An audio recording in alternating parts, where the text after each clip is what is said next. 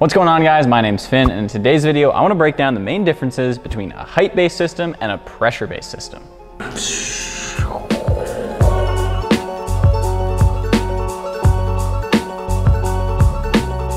So you might be asking yourself, well what's the real difference between these two? Well first off I'm going to show you using two main systems, Airlift 3H and Airlift 3P. The most basic way to explain this is that one system will hit its desired height every time and one system will reach its desired pressure every time.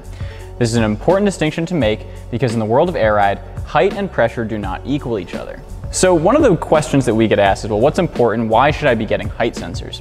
It comes down to a pretty simple thing. When you first set up your presets in your vehicle, you're doing it with usually just yourself in the car.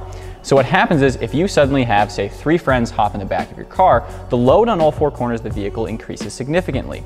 Now, a height-based system can compensate for this because it's always going to hit a target height every time, no matter the pressure.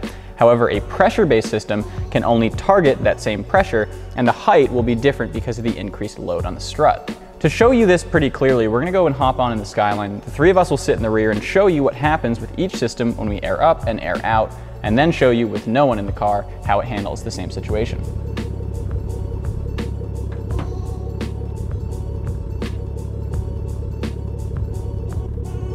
Currently running on a pressure-based system, we see the Skyline airing up on the left with no one inside of it and on the right with three people in the car.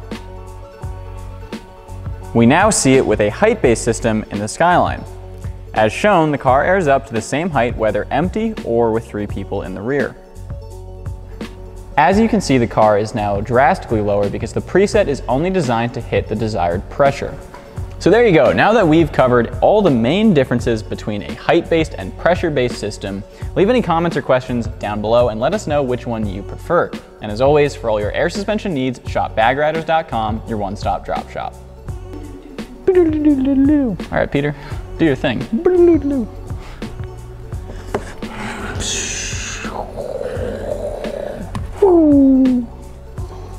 Woo!